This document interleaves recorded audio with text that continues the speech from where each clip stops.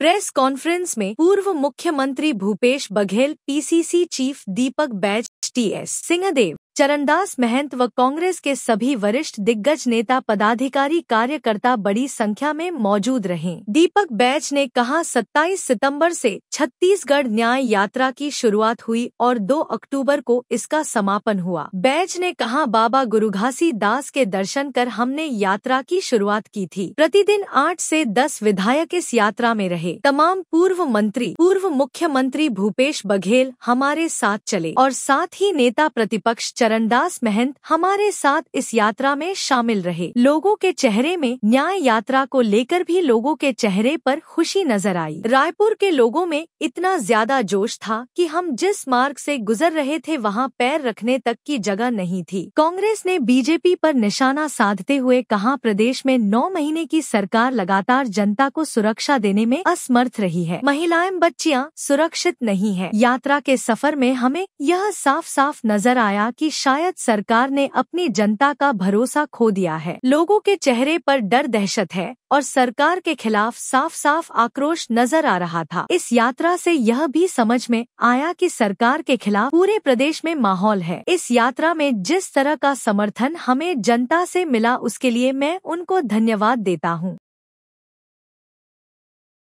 आदरणीय साथियों, आप लोग को विदित है कि पिछले 27 तारीख से 27 सितंबर से छत्तीसगढ़ न्याय यात्रा की शुरुआत हुई और 2 अक्टूबर गांधी जयंती के दिन समापन हुई रायपुर राजधानी यह यात्रा बाबा गुरु घासीदास की तपोभूमि पर दर्शन कर शुरुआत किए तमाम हमारे छत्तीसगढ़ के वरिष्ठ नेतागण और कार्यकर्ता और क्षेत्र के जनता उपस्थित रहे। अगर रायपुर में आप देखेंगे तो जनता और कार्यकर्ताओं को जोश और उत्साह इतना ज़्यादा था कि हम जिस सड़क से गुजर रहे थे, जिस मार्ग से गुजर रहे, वहाँ पैर रखने की नहीं। हमारे यात्रा का मकसद था कि जिस तरह से 9 से 10 महीने की सरकार पूरी तरह से छत्तीसगढ़ की जनता को सुरक्षित करने में विफल हुई और लगातार छत्तीसगढ़ में घटनाएँ घट रही है, अपराध बढ़ रहे हैं, अपराधियों का हौसला चरम पर और ये सरकार लगातार अपराधियों को संरक्षण देने का काम कर रही। है माता बहने सुरक्षित नहीं है, आश्रम छात्रावास छोटी बच्चियाँ सुरक्षित नहीं है। पूरे प्रदेश में जनता के मन में डर और भय का माहौल बना हुआ है। प्रदेश की जनता दहशत में है। सरकार के ऊपर भरोसा जनता का उठ चुका है और कहीं न कहीं नौ महीने में ही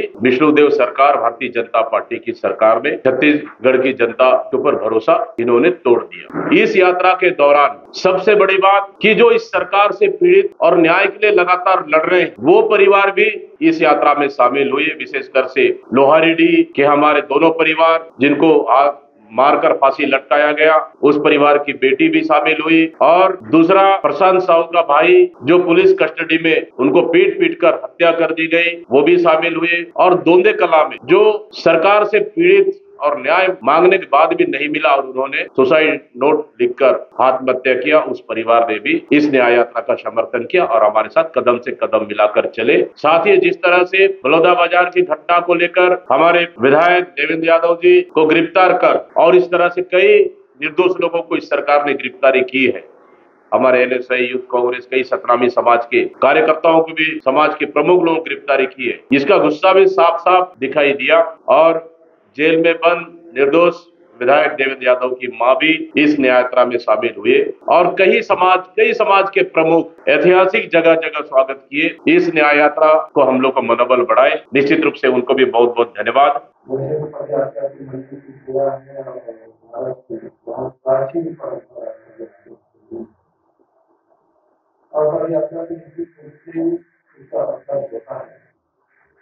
और हम लोगों ने भी तो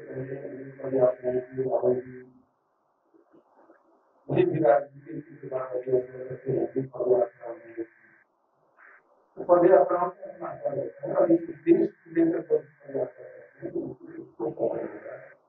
पूरे प्रदेश में मानव तौर पर स्थिति बेहद खराब है और जान माल से जुड़ा हुआ मामला है देश विदेश की जनता से जुड़ा हुआ मामला है हम सबकी सुरक्षा का मामला है ऐसे संविधान के मामलों को लेकर कड़ी शांति समिति के द्वारा पदयात्रा की गई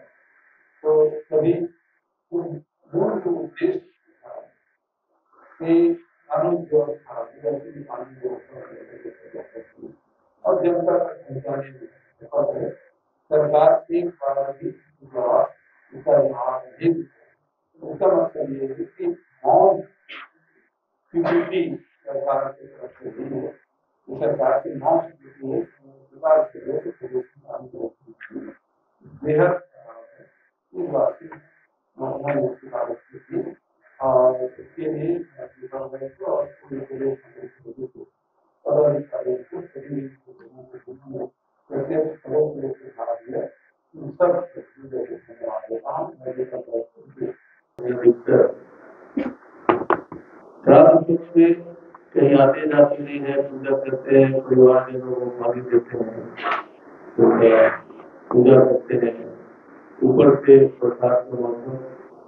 इसके बावजूद भी ये यात्रा बहुत बड़ी सफलता प्राप्त की है। इसके लिए हम सब हम सब माननीय वैद्य को बधाई देते हैं।